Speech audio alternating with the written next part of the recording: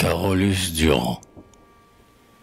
Les dames à tournure qui discutent le geste de Francillon ont trouvé le genre Velasquez pour les hôtels du parc Monceau. Un monsieur bien cambré cueille, avec son pinceau, une touche ronde de vermillon, grosse comme une rosette de la Légion d'honneur. Les modèles posent pour le Louvre, ignorant que le destin, peu fait aux usages, ouvre déjà le livre d'un triste musée de province.